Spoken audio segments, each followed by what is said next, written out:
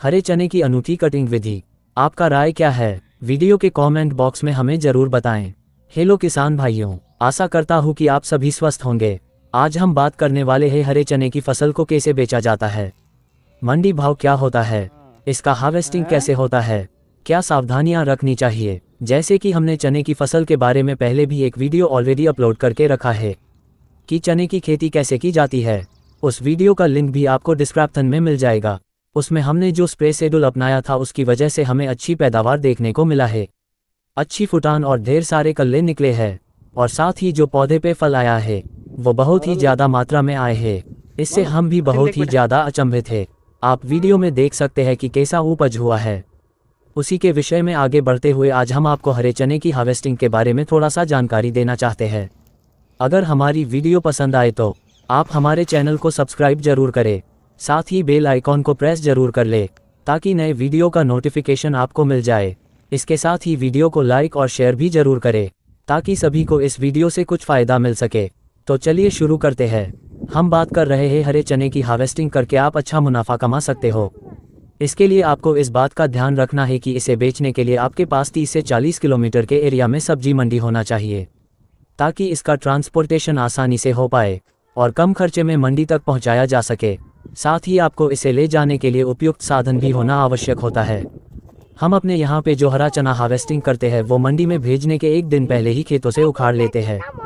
फिर उसमें छोटे छोटे लच्छे बनाते हैं ताकि इनको मंडी में ले जाने में कोई समस्या नहीं आए।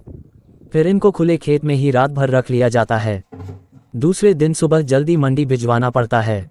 इसके लिए हमें सुबह जल्दी इसके बड़े बंडल बना के इनको ट्रक में या जो भी लोडिंग का ज़रिया होता है, उसमें लोडिंग कर लेते हैं। उसके बाद इनके ऊपर पानी गिराया जाता है ताकि इसे जो खारा खारा लेप लगा हुआ होता है वो सब धूल जाए और चने बिल्कुल फ्रेश दिखे। फिर मंडी में बेचने के लिए भेज लिया जाता है। मंडी के अंदर हरे चने का जो भाव है, वो लगभग 25 से 35 रुपए प्रति किलोग्राम का होता है। जो चने हम भिजवाते हैं, वो उसके पूरी डंठल के साथ में ही सेलिंग होता है और उसी का सेलिंग हम करते हैं। इसकी वजह से हमें इससे अच्छा मुनाफा मिल सकता है। और ये जो मंडी भाव है, वो सभी जगह पर अलग अलग हो सकता है। हरा चना बेचने का समय बाज़ार की मांग और पूर्वापूर्ति के आधार पर निर्भर करता है।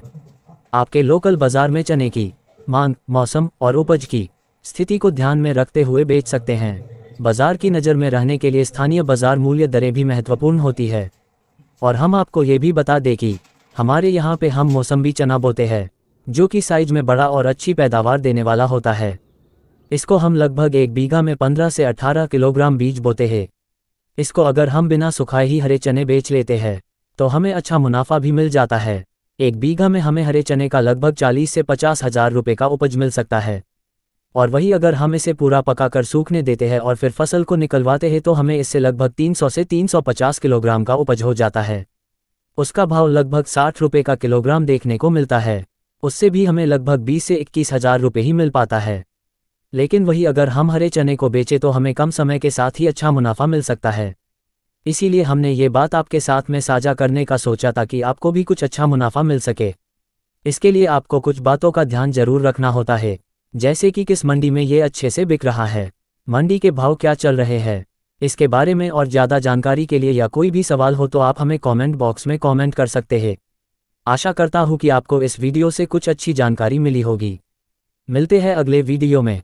जल्दी ही मुलाकात होगी नेक्स्ट वीडियो में। तब तक के लिए दीजिए आपके अपने भाई भरत किसान को इजाज़त। जय जवान, जय किसान।